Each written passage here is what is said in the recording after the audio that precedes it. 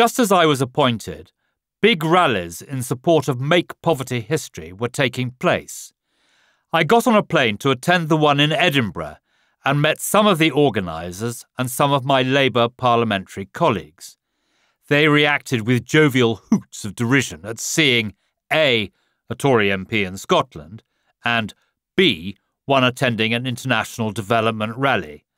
Others quite literally came up to prod me to see if I was a Conservative Party hologram. I returned to London fascinated by what I'd learned and with a diary full of people to talk to. Chris Patten called me to offer help, as did Lynda Chalker, and it was invaluable to have the advice of two former Tory ministers who had been much respected for their work on international development. Chris told me that even on a bad day, to be DFID secretary was a very good job indeed, and on a good day, he thought it might be the best job in the world.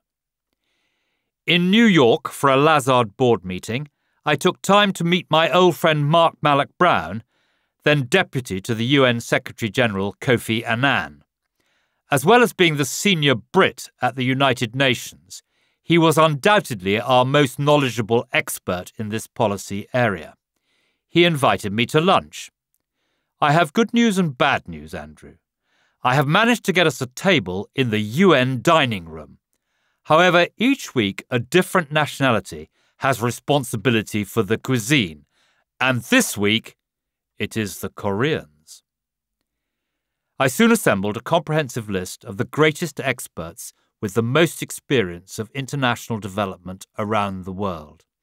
I was determined to go and sit at their feet and learn how Britain could do international development better and build on the, admittedly, firm foundations constructed by the Blair government.